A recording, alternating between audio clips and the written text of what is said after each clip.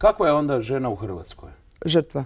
Zašto? Prebijena, gažena i meni je nevjerojatno da postavljate tako, jedno pitanje. Ja Zašto? Mislim da, ja, ja, mislim da nisu takve su žene. Ne možemo generalizirati takve stvari kao e, sve su žene u, u Hrvatskoj ili na svijetu su žrtve. Svakih 15 minuta se u Hrvatskoj prebije jedna žena.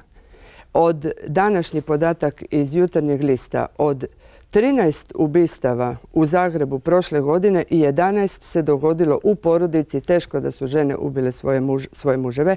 A što kako bih ja dokazala tu moju tezu, ja ću citirati, dakle, ne bilo koga, nego Andru Vlahušića, ministra zdravstva, koji je u Vjesniku rekao. Kad sam u Dubrovniku tražio sestru koja će raditi kod mene u ambulanti, mogu sam birati između jedne sa savršenom linijom i jedne od 120 kila. Izabrao sam ovu od 120 kila. Svojim primjerom ona pokazuje ljudima kako ne treba izgledati. Dakle, Andro Vlahušić, ministar, čovjek koga ja plaćam, i se usudio o jednoj ženi, o jednom ljudskom biću tako nešto reći. Žena se doživljava kao predmet. Ona mora biti lijepa. Dakle, Ulaga Valić koja je usput još i ljepotica. Ma oni bi htjeli da je ona još ljepša. Ali to je... Oni bi htjeli da a oni bi htjeli, A zašto ne bi htjeli da bude gospodin direktor još ljepši? 30 godina ga gledamo. E dobro, to je sad vaša... mogu li, samo nešto ovaj, e, e, to ste rekli. Za muškarca nije bitno da je lijep. Nije bitno. A zašto nije bitno? Pa nije bitno. On ima drugačiju funkciju. da, dovoljno da je pametan. Šta hoćete reći? Zašto vi ne... ne? Dovoljno da je muškarac, dobro Dobro vidite, je li to seksizam? Pa je. Pa naravno da je. Pa ali ja jesam ono što jesam. Pa ima muškaraca koji se osjećaju kao žene. Što ćemo s njima?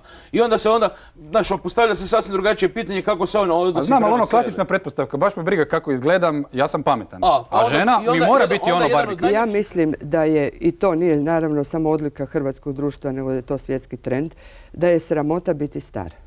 Svi moramo biti vječno mladi, svi moramo biti skockani, e, dakle ruke moramo sakriti jer su pune staračkih pjega ko moje. Oči moramo odrezati podočnjake gornje donje, svi se moraju stalno stajati.